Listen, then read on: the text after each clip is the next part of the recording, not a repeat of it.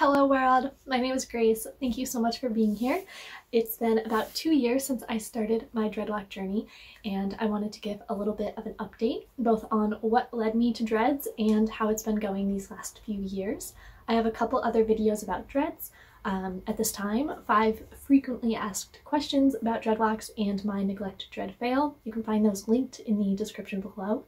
And of course, it would mean a lot to me if you liked, subscribed and if you came and said hi in the comments. Um, it really does help as a small creator.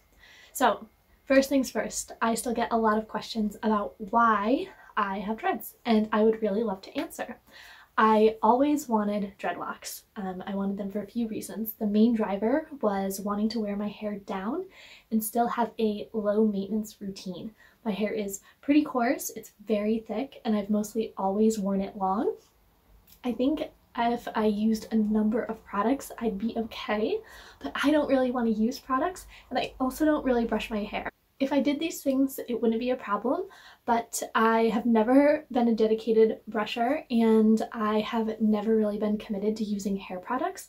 Um, I don't like the chemicals, the smells, the wasteful packaging, and the added expense and effort of having more disposable products in my life. I also got dreads because I wanted to let go of control, both physically and sort of emotionally and energetically at that time in my life.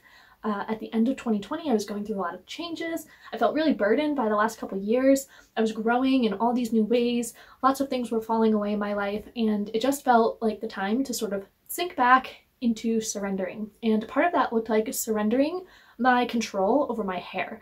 And um, dreads was the perfect answer. After I had my dreads, I felt like a whole new woman. I could wear my hair down, it wouldn't get super messy, it couldn't get tangled, it was already dreaded, and it was absolutely perfect.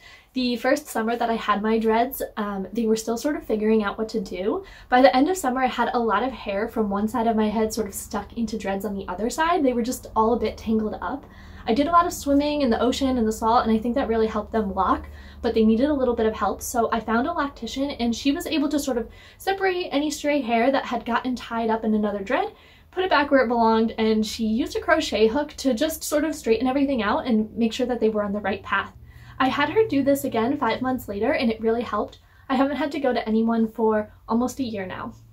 Now I just make sure to separate my dreads every month or two. Sometimes these wisps, especially around the front of my head, get tangled up in a neighboring dread. Sometimes I have to cut in between them to separate them, um, but mostly I just sort of give a yank and they come apart. Um, I cut my bangs every once in a while. Um, I'm actually really overdue for a trim, uh, but that's all I do. Sometimes I add beads, but mostly I just keep it really simple.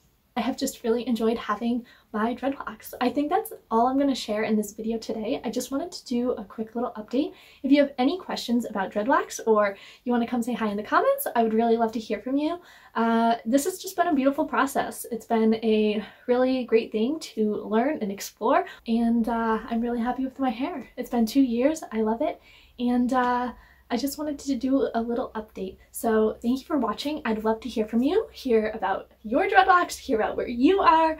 Um, yeah, come say hi in the comments. Thank you so much for being here. And from me to you, wherever you are in the world, whenever you are in the world, I hope that you are just having a really wonderful day. All right, ciao.